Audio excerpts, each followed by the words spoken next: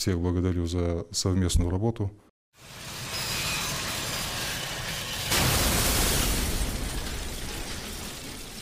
Так выглядит падение социального лифта. В самом начале года глава Бурятии отправил в отставку республиканское правительство. Все, включая министров и зампредов, получили к своим чинам приставку ИО. Им ясно дали понять, власть ставит перед собой современные задачи. Настало время новой политической элиты. Вакантны 23 места.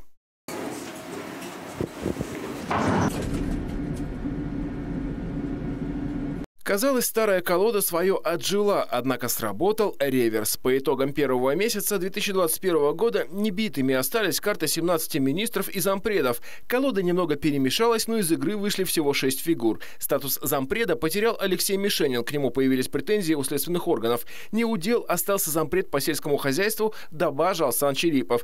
Министерских портфелей лишились министры по инвестициям Дарья Архинчеева, глава Минтранса Александр Аюшеев, Сергей Желтиков покинул Минпромторг, а Минприроды оставил Александр Хандархаев.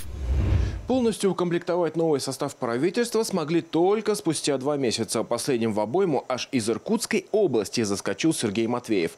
По образованию преподаватель физики, по делам предприниматель, общественник и борец за природное богатство, говорит, предпочитает Lexus. А у судебных приставов из Иркутска с его полными персональными данными совпадает 9 дел. И все не исполнены. Цитирую, меры по отысканию имущества оказались безрезультатными. Ну да кто старое помянет тому и глаз свой ООН, потому Сергей Матвеев – новый министр природных ресурсов и экологии.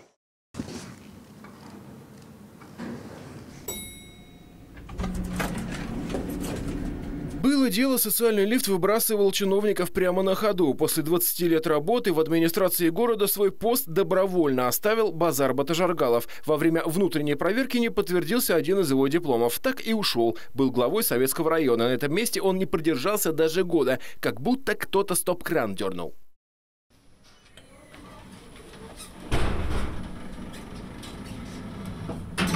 Второй этаж.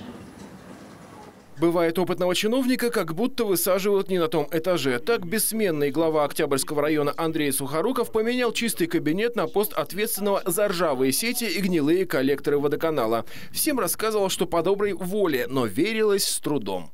Было предложение, в общем-то, девятый год на, на должности, может быть, вопросы, связанные, ну, даже с элементарной привычки и так далее, где-то глаз и так далее. Новая работа, ну, думаю, будет интереснее.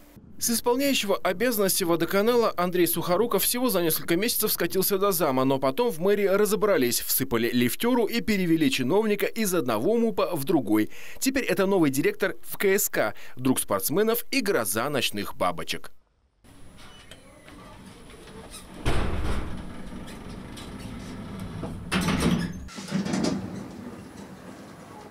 Социальный лифт тянет вверх далеко не каждого, его движение хаотичное. Стоит немного похулиганить, и дальше пойдешь пешком. Чем ниже по рангу чиновник, тем меньше огрехов готова просить ему система. Так, за нарушение антикоррупционного законодательства место главы Джидинского района потерял Валерий Циренов. На посту он находился с 2012 года.